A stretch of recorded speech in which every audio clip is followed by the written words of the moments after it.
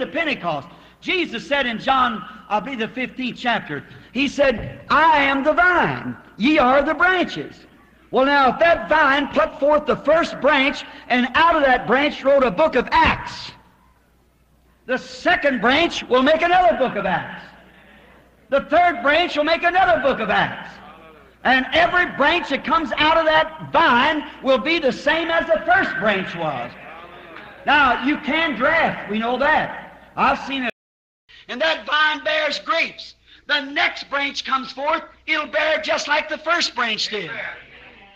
Oh, you say, Brother Branham, but we look at all these churches. That's grafted vines. Now, you can graft citrus fruit. You can take an orange tree and put a lemon on it and it'll grow. That's what you, man grafted in. And these organizations is what man grafted in. It's a lemon all the time. It'll grow because it's stuck out in the church name. But let me tell you, if that tree ever puts forth another branch itself, it'll bear an orange. And if the power of God ever puts forth another church, it'll be another Pentecost, and another book of Acts will be wrote behind it. Because it's a church of God. Jesus said, I'm the vine, you're the branches. Spirit of God moving in the church and doing the same works in life that Jesus lived. If it's a peach tree, it'll bring forth peaches. If it's an apple tree, it'll bring forth apples. I don't care how the outside looks, it shows the life on the inside of it is what brings the fruit of it. You get a grapevine, you put pumpkin life into it, it'll bring forth pumpkins. And you change it right back, and take a pumpkin vine, put grape life in it, it'll bring forth grapes. Whatever life is in it, I don't care what title it's got, Methodist, Baptist, Presbyterian, Pentecostal, whatever it is, take pumpkin life and put it into a grapevine, it'll bring pumpkins. If this is a Pentecostal church, you got old pumpkin life into it, get it out and have a vaccination come back. Amen. Amen. I see you got trees up here, bring about nine kinds of different citrus fruit.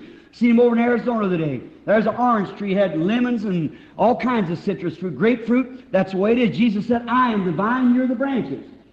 That's right. And if the first branch, now remember, the vine does not bear fruit. It's the branch that bears the fruit. Now, if that first branch come forth and produced the Pentecostal church, they wrote a book of Acts behind it. If that branch ever brings forth another one, it'll be the same kind of a Pentecostal church, have the same signs and same wonders.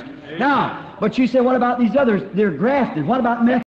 I am the vine, ye are the branches. Is that right? Now, you farmers, you Texans, Louisianans, and what you may be here, anyone that's got common sense that ever seen a vine grow, know that the vine does not bear fruit. The branches of the vine is what bears fruit. But it gets its life from the vine. Jesus is our resource of life. Yes, sir. Now, we'll notice then that Jesus is the resource of our life and He's the true vine.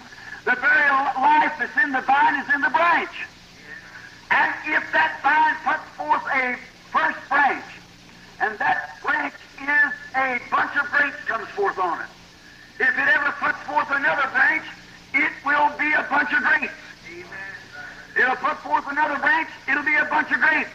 And it'll be the same kind of branch on to the end of the vine. Oh, God. Now I need my half off. Amen.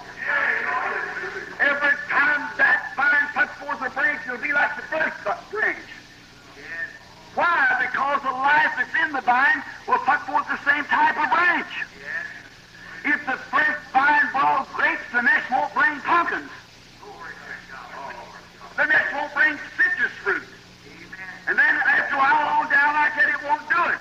If the true vine puts forth a branch, and if Jesus is the branch and the first, or the vine and the first branch that brought forth, they wrote a book of Acts after it. Is that right? The Pentecostal church. The real Pentecostal church. And it wrote a book of Acts with signs and wonders following the believers. If that real true vine brings forth another true branch, they'll write a book of Acts behind it. Yes. him because that's who she is. Her life. Listen, when on the day of Pentecost, when the Holy Ghost fell on the day of Pentecost, the life was given to the church. And that church went right out and produced, uh, they wrote behind that church a book of Acts of what it did because it was Christ in the apostles. Now, Jesus said in St. John 15, I am the vine, ye are the branches. Now, the vine does not bear fruit. The branch bears fruit. It's energized by the vine. Now, if that limb, first one come out on that tree, produced a book of Acts, if that ever puts out another limb, it'll be the same life. A few months ago, I was standing with my good friend John Sherritt up at Phoenix. I live in Tucson, as you know.